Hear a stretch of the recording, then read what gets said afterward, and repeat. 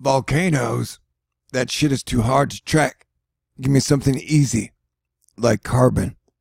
All right. Ladies and gentlemen, it is that time of the month where I start to act really weird. So you've been warned. Also, we have fantastic new ice crystal formations. And it's like these sun dogs have a mind of their own where they're evolving over time, which is something civilization used to do, but then it stopped and it started going retrograde. Anytime we get one like this, we always take the weird weather watch up a notch. So you might be saying, what is the sun doing? And let me tell you, it is doing strange things, my friend. We have a coronal hole, which is rotating around right about now. What is so magically special about this coronal hole is that this will be the sixth time and it's come around that this same coronal hole with a chevron shape I read that somewhere else. I don't even know what the chevron shape is. Will be facing us. It looks like a bow shock to me. And so the coronal hole is an opening in the sun that will spew out fast moving solar wind, which will then hit Earth's magnetic shield and light it up with charged particles and get the atmosphere all frizzy haired. And so, someone should do a really cool sciencey thing that shows us, because that storm will hit on around December 1st, that shows us the storms that followed about three days after we got hit by the solar storm. And one of the Thor News things we look at is whenever we are facing a giant coronal hole, sometimes the earthquake activity goes up. More often than not, really. And that's usually when we're directly facing or when the solar wind hits. So take your earthquake and volcano watch up a notch. And we're still monitoring the planets because if this were a slice of the pie, only these slices are left. I didn't explain that very well. Anyway, but just think about it. Like, think of all these planets being in this one area. No matter what, that is cool. I know planets aren't as cool to people as they used to be back in the day before radios, televisions, and smartphones. But they're still really cool, man. And check out Sirius lately. Sirius is not a planet, he's a star right by Orion. He's been shining like a, double star lately, maybe even triple. Anyway, to have all these planetary bodies in the same space, that's very fascinating. And so, now we're about to get into the wild and weird, wacky weather. Because, yeah, it's going to get wild, weird, and wacky. And California, you are on high red alert for mudslides and rain events. And I hear the UK is about to get really rainy as well. And I want to point this out right here. The models, which have been really shaky lately, they have what would be category one or category two hurricane strength. I'm not saying it's a hurricane. I'm just saying that some of the winds, the wind gusts could have somewhere near hurricane speeds. All right. And it, I'm just going by what the models say.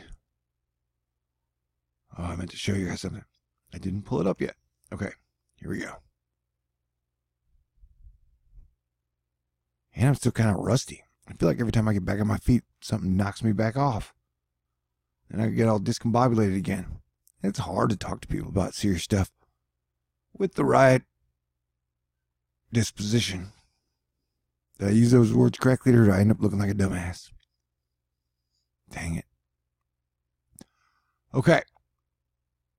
We are talking about on this Thursday storm is the first we'll cover, but like here, let's look at this. Like this is 65 miles an hour, 70, 63.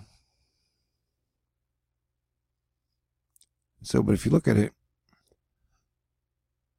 a lot of windy areas across the globe in big blobs. Isn't that crazy? That's some of the windiest I've seen the atmosphere ever. So I'm just pointing that out to you that this is some of the windiest I've seen the upper atmosphere collectively or in giant pod creature things that we're seeing. Anyway, so this is the GFS run. Wait, I need to point out the serious shit first. Dang it. Where was I at? Regions. Did I mention that, Rusty? Okay. So one thing I wanted to show is the total accumulated precipitation. And so over a 16 day span. Now the models have backed off it a little, but I think it was Monday night's 18Z was the one that worst like this has been the worst run so far. And if it came anything like this run, this would be giant swaths of anywhere from 10 to 20 inches of rain and giant portions of the West Coast.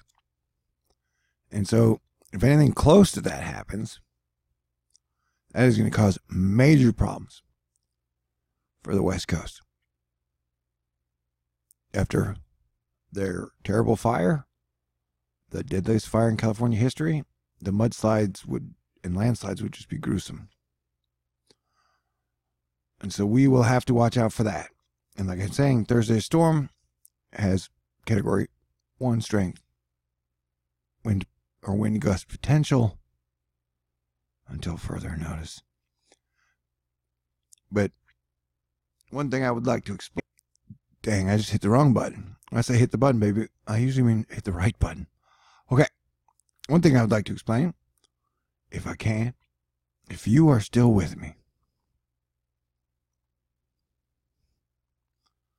the pattern used to go like to here, to here, and then it would kick straight up, and it would come down through here, and then you get your jet dip down, and then it would bust out through here, right? And then sometimes during summer you get the moisture added in from here, and then the hurricane, the most active Pacific hurricane season in of all time would sometimes add moisture in through here. And so that was the normal pattern we've been dealing with. But now, the new variable, as you can see, instead of going up, it's just coming through. And so then it comes in, comes down, and then up and out.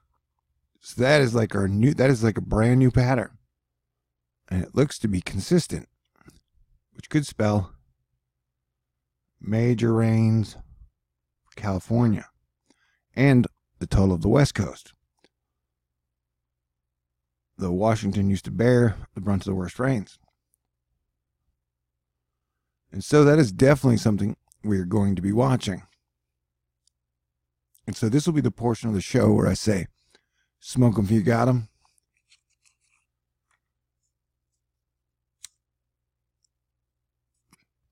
And I put together a little correlation thing where if you'll notice the V shape we are seeing in some of these rain bands is um almost on par with the coronal hole.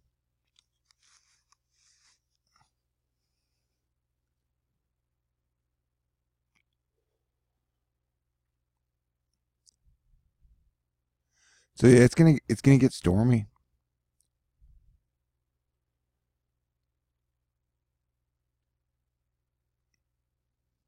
Some of the models have spit out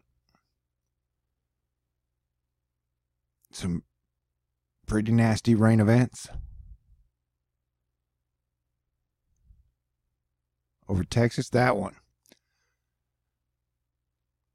You went by too fast. Definitely gonna be watching Thursday Storm on the West Coast. There would be a big nasty chunky storm on the second. See, here's the V. You almost match that up. Right there. Bingo. Bingo. See it? Bingo. Bingo.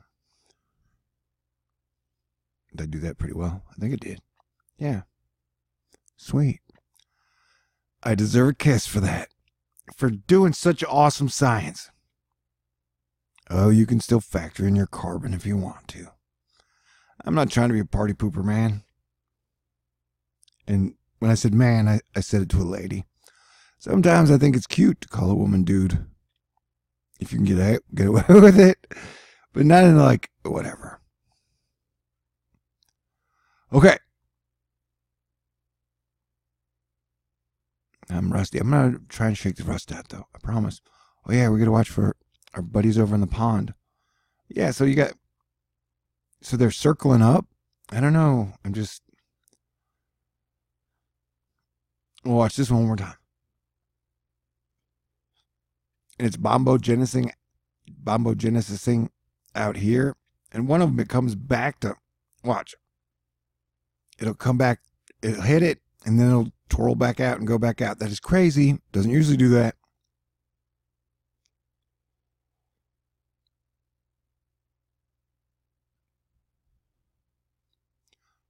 But you'll notice it's almost carving up the coasts with low pressure.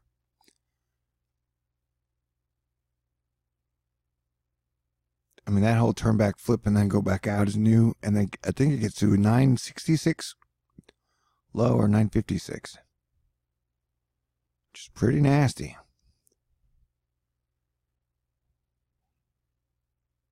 So there are some wild processes going on here. And they look like they've done these processes a thousand times before, which is another reason I keep going back to the planetary alignments. Because as far as I know, the planets have always been here. They've at least always been here my whole life. I can verify that. All right, now let's check out the big pond. Yeah, but no, seriously, UK, you guys are just getting wave after wave after wave after wave. Another thing to notice as the rain man and rain bands, the rain bands are all staying mildly interconnected with each other, or at least trying to, in new ways that aren't normal. Although, what is normal in 2018? Other than me not getting kisses. See, there's a rain band string right there. Oh, I've mentioned kisses twice. Must be getting close to Christmas. The holidays are so romantic. Oh, see, there was. See, look how those are. I don't even know. This is great. 2018. It's a wild time.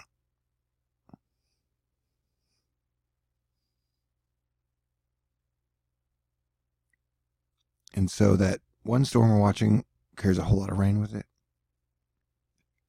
So it looks like a rainy, stormy pattern right there. Towards the end, you know, it's going to get stormy.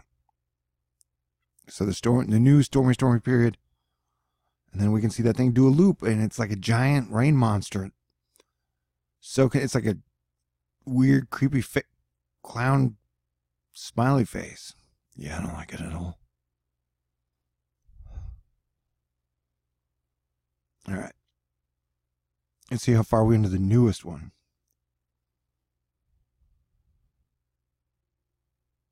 Do, do, do, do, do. How are you doing? What are you wearing? You never answer that question. Great. When I run for president, you're going to like cut together all the times that I said, What are you wearing?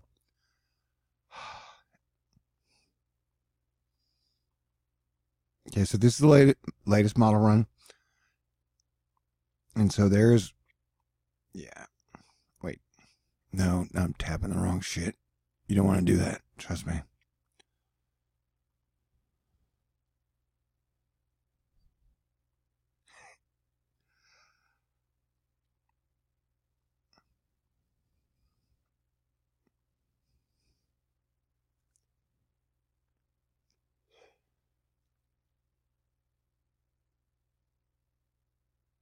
And they seem to fill in the storms more accurately as the storms get closer to us. But see, there's that.